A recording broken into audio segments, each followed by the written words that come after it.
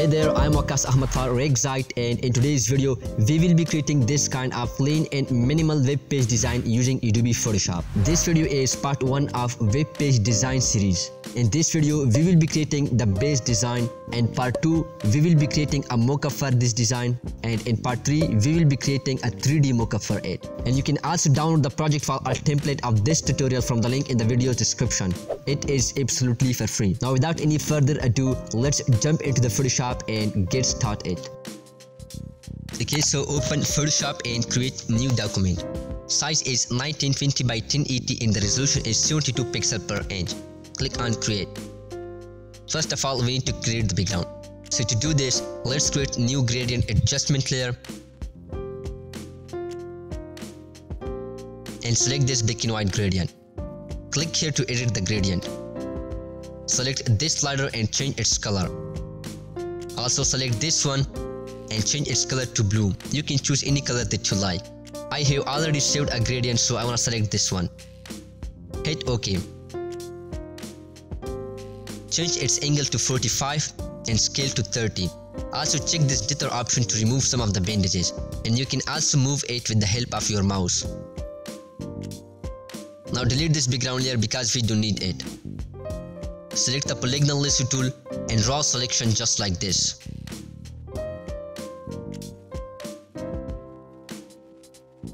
Create a gradient adjustment layer on top of it. Again click here, select this black and white gradient and from here you can change its color. I want to select this gradient. Hit OK. Change its angle to minus 45 and move it to this side. Also check the dither option and then hit OK. Now select the rectangle tool and draw a rectangle just like this. From the property panel, change its fill type from solid color to a gradient. Press Ctrl T and rotate it. Press enter when you are happy. Change its blend mode to screen and drop down its opacity to 10%. Now the background is ready. So select all of these layers and click on this icon to group them together and then rename it background. Select the rectangle tool, click on the canvas, put the value of your canvas width and height. In my case, it is 1920 by 1080. Select the move tool and align it to the center. Press Ctrl T to open transform tool and shrink it down just a little bit.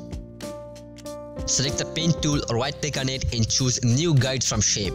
It will create guides around this rectangle. Now delete this layer because we don't need it anymore. Now this is our safe area. Drag and drop your logo into the Photoshop, resize it and move it into the right place. You can also move it with the help of arrow keys. Now to add the menu, select the type tool, change the font style to light, size to 30 and the color to white. Click on the canvas and now start typing the name of your pages. Add few spaces and then type another page and so on.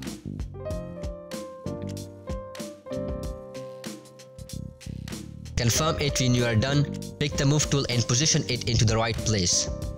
Now because we are designing a home page, we need to create an indicator which show that we are in home page. So to do this, let's zoom in a little bit, select the rectangle tool and draw a rectangle just like this. Click here and pick a dark blue color.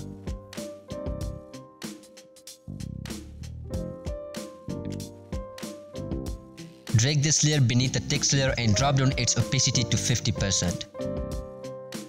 Right click on it and choose blending option. In the layer style menu, click on drop shadow. Blend mode is normal. Color is white. Opacity is 100%. Angle is minus 90. Size is 0 and the distance is 2. It will create a simple indicator just like this one, which is looking nice. Now select the type tool, change its color to white and draw a rectangle just like this. Here you can add detail of your page or anything that you want. Confirm it. Now click here, change the font to black and increase its size to 85. Add your main title right here. Confirm it and position it into the right place. Now drag and drop this icon into the Photoshop. By the way, you can download them from the link in the video's description.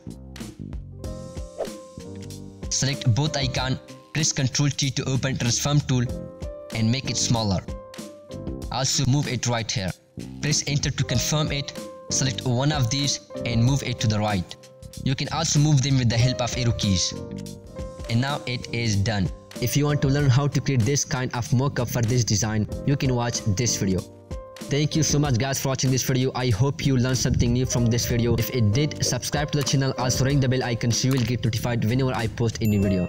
I'll be catch you in my next video. Till then, peace.